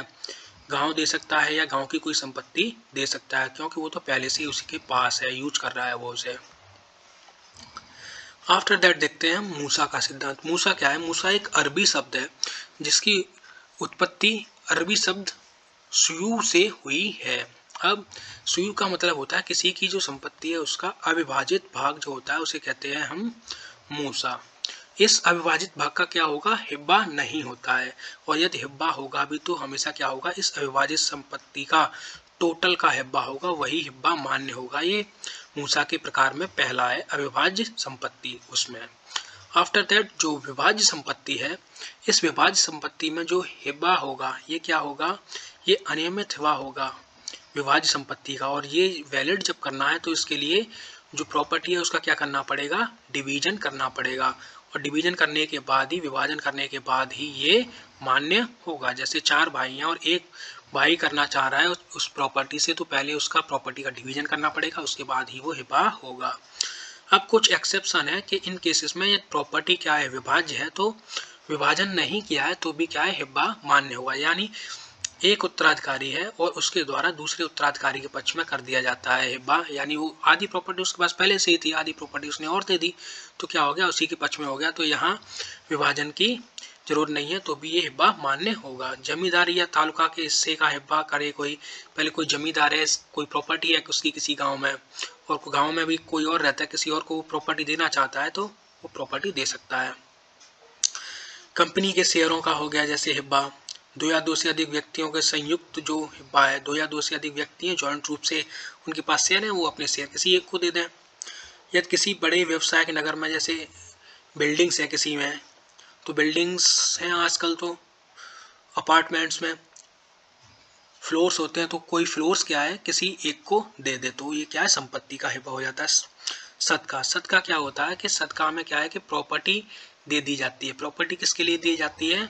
रिलीजियस के लिए दी जाती है, रिलीजियस वर्क के लिए दी जाती है। तो इसमें क्या है कि विभाज्य जो प्रॉपर्टी है, उसका भी विभाजन करने की आवश्यकता नहीं होती है सदका में। वस्तु के लाभ के लिए यह सदका किया जाता है, यानी कि उसका विभाजन नहीं करेंगे, विभाजन कर देंगे तो क्या है उसके मूल्य में कमी हो जाएगी या वो वस्तु बेकार हो जाएगी तो इसके लिए उसका क्या कर दिया जाता है, हिब्बा कर दिया जाता है। अब देखते हैं हिब्बा का प्रतिसहरण। प्रतिसहरण यानी कि रिवोकेशन यानी हिब्बा को रद्द कब किया जा सकता है? सुन्नी की जो हनपी शाखा है, वो ये मानती है कि ये हिब्बा जो होता है, वो हमेशा रिवोकेबल होता है, यानी हमेशा से ही रद्द कर सकते हैं, उसे कभी भी रिवोक कर सकते हैं। अब ये जो हिब्बा हिब, जो हिब्बा है, ये क्या होना चाहिए? स्वतंत्र सहमति से होना चाहिए हिब्बा। रिवोकेबल होगा, या स्वतंत्र सहमति से किया हुआ है तो। मोहम्मद साहब कहते हैं कि ये जो रिवोकेशन है हिब्बा का, ये क्या है? इसे घृणित मानते हैं। क्योंकि यदि हिब्बा कर दिया है, बाद में उसे रिवोक कर रहे हो तो ये क्या है? गलत काम है। आफ्टर दैट जो सिया है, उसे क्या मानते हैं कि कोई भी कंडीशन हो, उस कंडीशन में उसे क्या मानते हैं सिया रिवोकेबल मानते हैं। अब अथना इसारिया जो सिया से हैं और सुन्नी से क्या है? सेफई ये दोनों क्या मानते हैं कि घोषणा मात्र करने से ही इसका क्या हो जाएगा? रिवोकेशन हो जाएगा। अब कुछ कंडीशंस देखते हैं। तो कब्जा देने से पूर्व, कब्जा जब दिया नहीं है तो जो दाता है, जो डोनर है, उसके पास फुल पावर होती है कि वो रिवोक कर सकता है। क्योंकि हिब्बा के लिए क्या है? ट्रांसफ़र ऑफ़ पोजेशन होता है तो अब दिया ही नहीं है, कब्जा ट्रांसफ़र हुआ ही नहीं है तो क्या उसके पास अधिकार है वो क्या कर सकता है? उसे रिवोक कर सकता है। कब्जा देने के पश्चात क्या? न्यायालय के थ्रू ही हो सकता है। क्या हो सकता है? रिवोकेशन अब इसके कुछ एक्स, कुछ अपवाद हैं एक्सेप्शन है कि कोर्ट भी रिवोक नहीं करा पाएगा यदि ये कंडीशन है। जैसे कि दाता यानी डोनर और डोनी दोनों की डेथ हो गई है तो हिब्बा को क्या नहीं किया जा सकता? रिवोक नहीं करवाया जा सकता है। और दाता और अदाता इन ये क्या है? ये किसमें आते हैं? प्रोहिबिटेड रिलेशंस में आते हैं। तो एक बार इन्होंने प्रोहिबिटेड रिलेशंस में जो पोजेशन को दे दिया तो फिर ये वापस नहीं ले सकते हैं। पति के, पति द्वारा पत्नी को कोई पोजेशन दे दिया है तो उसके बाद फिर वो रिवोक नहीं करवा सकते हैं। संपत्ति के मूल्य में, यानी जो प्रॉपर्टी है प्रॉपर्टी के मूल्य में क्या कर, हो गया है? जो प्रॉपर्टी दी थी हिब्बा में, उसमें क्या चेंज हो गया है? प्रॉपर्टी बढ़ गई है, उसके मूल में वृद्धि हो गई है तो भी नहीं करवा सकते हैं क्या रिवोक जैसे कुछ काम करवा दिया, जैसे कुआ खुदवा दिया उसमें। आफ्टर दैट जो प्रॉपर्टी है, जिसकी पहचान नहीं की जा सकती आइडेंटिफाई नहीं की जा सकती, जैसे एक जगह का हिब्बा किया था, अब उसने वो जगह बेच के कहीं दूसरी जगह कोई और ज़मीन ले ली तो अब उस ज़मीन का रिवोक नहीं करवा सकते हैं, क्योंकि वो ज़मीन तो उसने बेच दी। सदका, यानी कि जो गरीबों के लिए दान दे दिया गया है रिलीजियस वर्क के लिए कर दिया गया है, उसको भी रिवोक नहीं करवा सकते हैं। या फिर बदले में कुछ ले लिया है कंसिडरेशन ले लिया है हिब्बा का, तब भी उसे रिवोक नहीं करवा सकते हैं। आफ्टर दैट देखते हैं डिफरेंस हम। हिब्बा हिब्बा बिल एवज, हिबा बसरतुल एवज। ये क्या है कि एक तरह से सारे हिब्बा के टाइप ही हैं, लेकिन फिर भी इनमें डिफरेंस देखते हैं। जब एक व्यक्ति द्वारा दूसरे व्यक्ति को जो संपत्ति का अंतरण किया जाता है, वो बिना शर्त के बिना विनिमय विदाउट एक्सचेंज बिना प्रतिफल यानी विदाउट कंसिडरेशन के किया जाता है और तुरंत किया जाता है और कब्जे का तुरंत क्या कर दिया जाता है? अंतरण यानी ट्रांसफ़र कर दिया जाता है तो उसे क्या कहते हैं? हिब्बा कहते हैं। कोई भी कंडीशन नहीं है इसमें। कोई भी कंसिडरेशन नहीं है इसमें। और संपत्ति का अंतरण यानी एक्सचेंज किया गया है। विदाउट एक्सचेंज किया गया है। विदाउट एक्सचेंज के। एक्सचेंज कब किया गया है? एट वंस कर दिया गया है। और पजेशन जो ट्रांसफ़र किया गया है, वो भी एट वंस कर दिया गया है। तो इसे क्या कहेंगे? हिब्बा कहेंगे। अब देखते हैं हिबा बिल एवज। हिबा बिल एवज में क्या है कि प्रतिकर के बदले दान दे दिया जाता है। यानी किसी ने कोई पहले काम किया और उसके बदले उसने कोई कंडीशन नहीं रखी थी। बिना विदाउट कंडीशन काम किया हमारे यहाँ और उसके बदले हमने क्या है? उसे हिब्बा कर दिया। यानी कोई जगह थी, उस जगह का हिब्बा कर दिया उसे। तो इसे कहते हैं हम हिब्बा बिल एवज यानी काम के बदले में हमने हिब्बा दे दिया उसे। अब क्या है? हिबा व शर्तुल एवज हिबा व शर्तुल एवज मतलब हमने उसके सामने ये शर्त रख दी कि तू ये काम करेगा तो उसके बदले में हम तुझे क्या कर देंगे? ये हिब्बा कर देंगे इस चीज़ का। तो इसे कहते हैं हिब्बा व सरतुल जैसे ए दाता था, इस दाता ने कहा कि तू मेरी पुत्री जो सी है इस सी पुत्री से तू विवाह करेगा तो मैं तुझे ये इस चीज़ को, प्रॉपर्टी को दे दूँगा। बी क्या था या अदाता? बी से कहा। तो ये हिब्बा क्या होगा? हिब्बा व सरतुल एबज होगा। शर्त का पालन करने पर ही हिब्बा प्रतिफल के रूप में मिलेगा उसे। अब इनका अंतर देखते हैं। संपत्ति का जो स्वामित्व है, जो ट्रांसफ़र किया जा रहा था विदाउट कंसिडरेशन किया जा रहा था, यहाँ क्या है? कंसिडरेशन में किया जा रहा है और यहाँ क्या किया जा रहा है? कंसिडरेशन के साथ साथ क्या है? कंडीशन भी है। उसके बदले क्या है? ट्रांसफ़र किया जा रहा है। संपत्ति का, स्वामित्व का जो है ओन टाइटल जो है उसका। आफ्टर दैट ये देखते हैं हम, कब्जे का जो प्रदान है, वो क्या है? एब्सोल्यूट है। यानी कब्जे का जो प्रदान है, जो ट्रांसफ़र किया जाएगा, वो एब्सोल्यूट कंडीशन है। इसमें जो कब्जा है, वो ट्रांसफ़र नहीं है। एब्सोल्यूट नहीं है कि कब ट्रांसफ़र किया जाए पजेशन इसमें क्या है? पजेशन ट्रांसफ़र है, क्योंकि उसने शर्त को पूरा कर दिया है। अब ये जो मूसा का हिबा जो मूसा का हिबा का सिद्धांत है, ये यहाँ पर अप्लाई नहीं होता है। और यहाँ क्या है, मूसा के हिबा का ये सिद्धांत है, ये अप्लाई होगा। क्योंकि उसने काम किया है और उसकी कोई भी शर्त नहीं रखी थी, इसलिए। और मूसा का जो हिबा है, वो यहाँ अमान्य हुआ क्योंकि यहाँ शर्त रखी गई थी। आफ्टर दैट अपवाद के सिवाय जो हिबा होते हैं, वो क्या होते हैं, कुछ एक्सेप्शन के अलावा वो रिवोकेबल होते हैं, यानी उनका प्रतिसहरण कर दिया, किया जा सकता है। और ये क्या है? रिवोकेबल नहीं होते इरिवोकेबल होते हैं, इनका खंडन नहीं किया जा सकता। शर्त का पालन करने के बाद क्या है ये? अखंडनीय हो जाते हैं, यानी पहले तो ये रिवोक किए जा सकते हैं जब तक उसने कंडीशन नहीं मानी, यानी शादी नहीं की तब तक तो रिवोक किया जा सकता है। या उसने शादी कर ली और प्रॉपर्टी का ट्रांसफ़र हो गया तो उसके बाद में फिर वो रिवोक नहीं हो सकती है। हिबा क्या है? शुद्ध होता है, रूप हिबा ही होता है ये। इसमें न तो क्यों? क्योंकि ना इसमें कोई कंडीशन है, ना इसमें कोई कंसिडरेशन है। इसमें क्या है? ये क्या है? सेल ऑफ़ कॉन्टैक्ट के समान होता है, विक्रय की संविदा के समान होता है, क्योंकि कोई काम किया, काम के बदले पैसे मिले। ये क्या है? पहले पहले क्या था?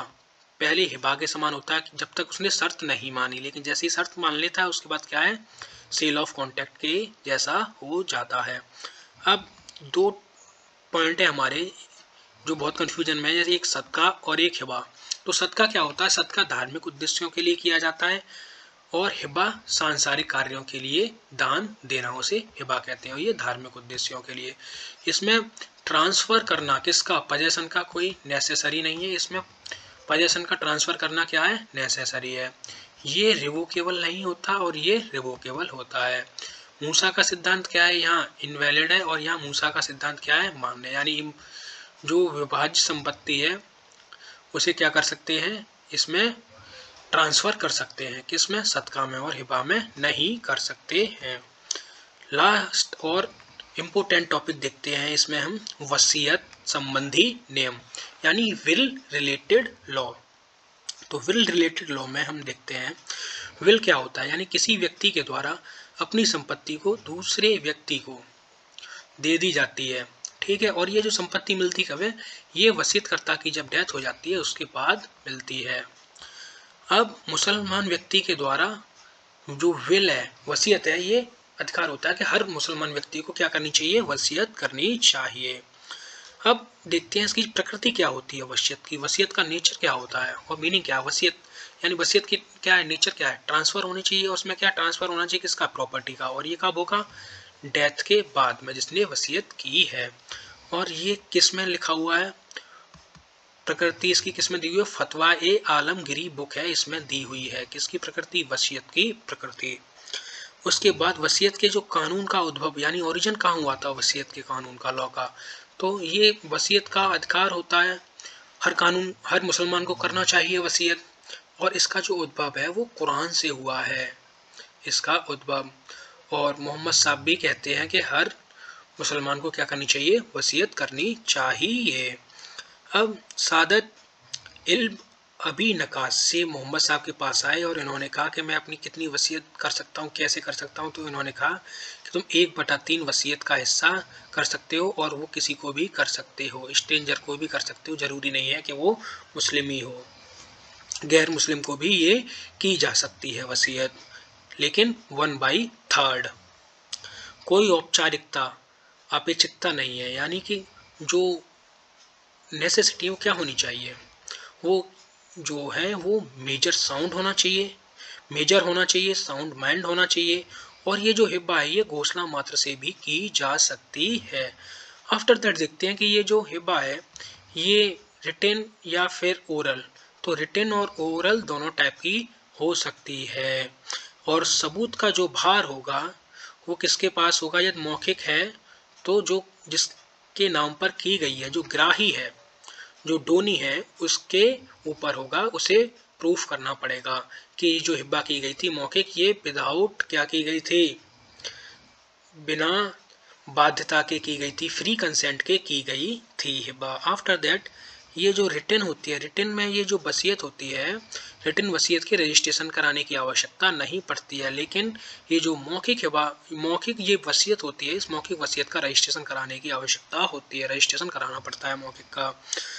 अब्दुल मतरान खान बनाम, मुर्तजा खान, इसके केस में ये कहा गया कि ये जो वसीयत है, ये रिटर्न भी हो सकती है, ओरल भी हो सकती है, लेकिन क्या होनी चाहिए? ये क्लियर वर्ड्स में होनी चाहिए वसीयत।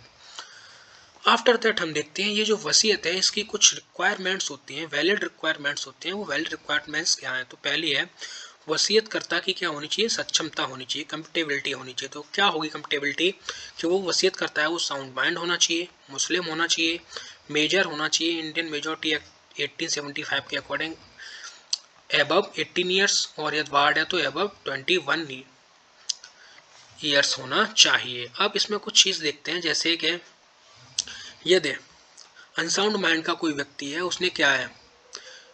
वसीयत कर दी है और वसीयत करने के बाद, वो साउंड माइंड होने के बाद क्या है कि उसे क्या करेगा? रेटिफाई करने के लिए कह रहा है कि मैं इसे रेटिफाई कर दूँ तो वो फिर वो रेटिफाई नहीं कर सकता है। यदि माइनर ने कोई वसीयत कर दी है और मेजर होने के बाद वो कहता है कि मैं इसे रेटिफाई कर दूँ तो रेटिफाई कर सकता है? हाँ उसे रेटिफाई कर सकता है वैलिड करवा सकता है किसे? वसीयत को। लेकिन अनसाउंड माइंड वाला व्यक्ति साउंड माइंड होने के बाद उसे वैलिड नहीं करवा सकता है। आफ्टर दैट हम देखते हैं, ये साउंड माइंड जो इन दोनों कंडीशनों में नहीं करवा सकता है, चाहे वो टाइम हो, पीरियड हो या फिर वो उसकी डेथ हो। यदि वो डेथ के पहले साउंड माइंड था, डेथ के टाइम अनसाउंड माइंड है तो भी उसकी जो वसीयत है वो क्या हो जाएगी? इनवैलिड हो जाएगी। आफ्टर दैट हम देखते हैं जो सुसाइड करने वाला व्यक्ति है, उसके द्वारा जो वसीयत है, वसीयत की जाती है तो क्या है? मान्य होगी वसीयत। ये सुन्नी संप्रदाय के अकॉर्डिंग है। अब सिया संप्रदाय के अकॉर्डिंग ये सुसाइड का अटेम्प्ट किया है।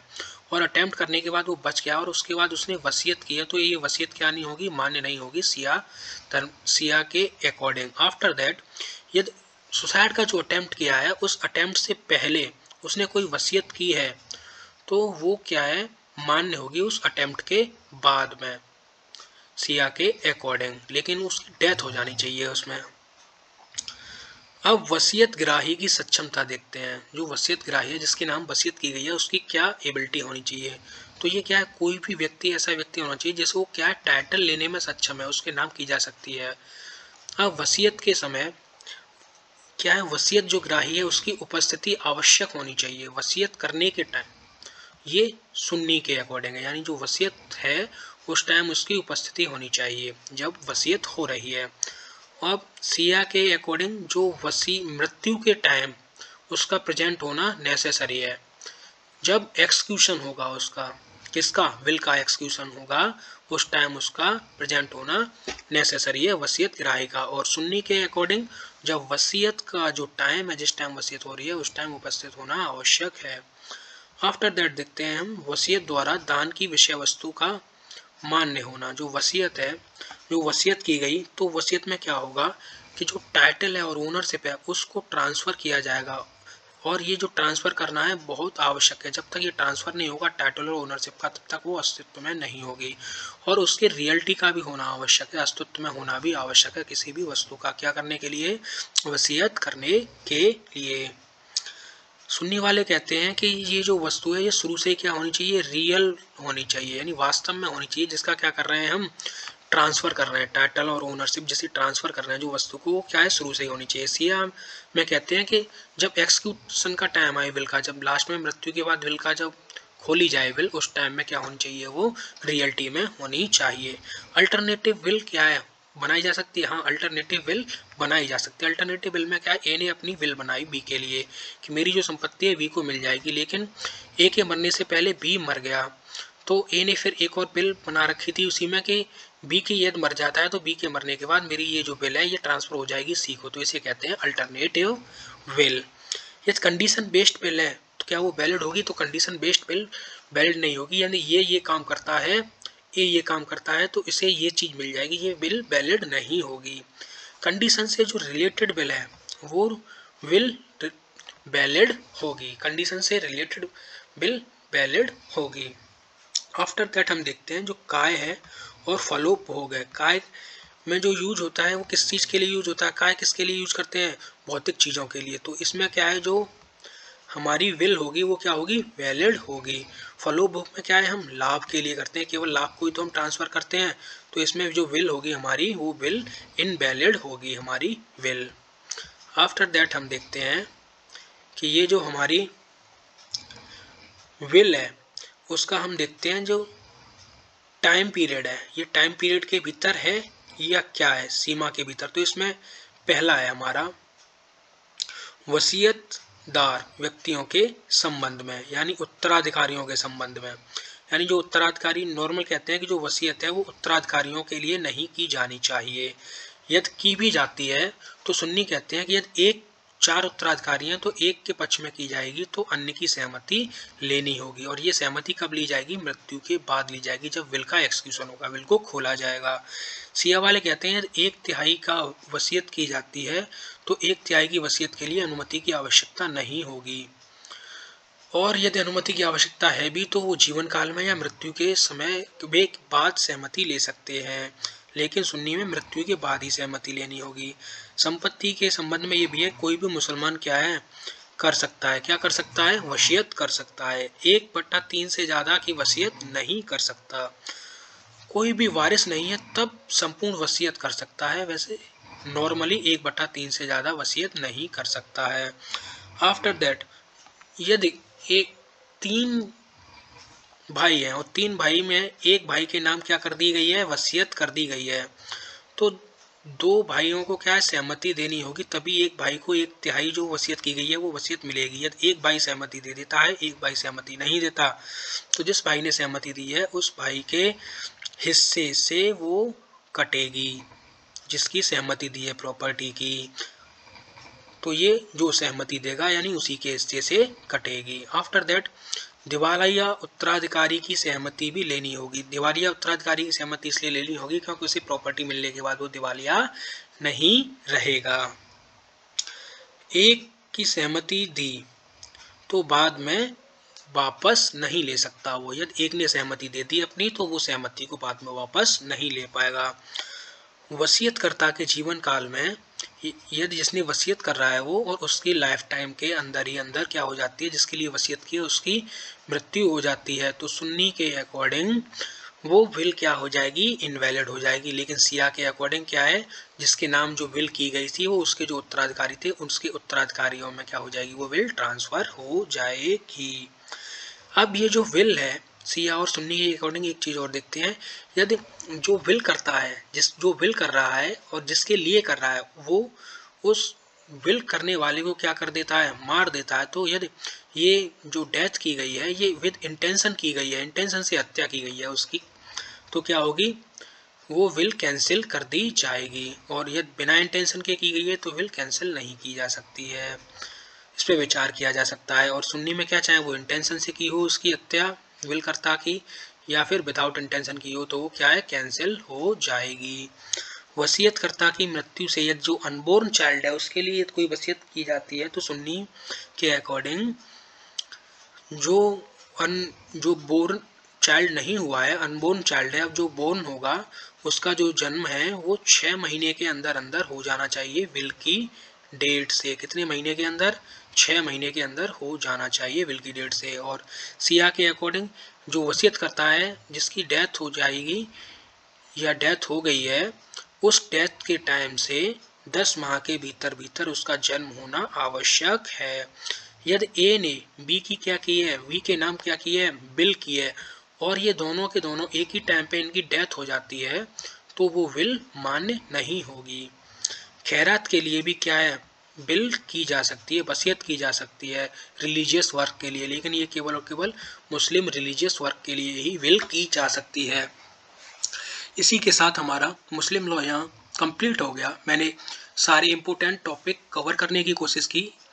यदि कोई भी आपकी इनसे रिलेटेड क्वेरी हो टॉपिक से तो आप मुझे कमेंट सेक्शन में पूछ सकते हैं, मैं उसका रिप्लाई दूँगा। यदि वीडियो अच्छी लगी हो तो वीडियो को लाइक कीजिए शेयर कीजिए और चैनल को सब्सक्राइब कीजिए। जय हिंद जय भारत।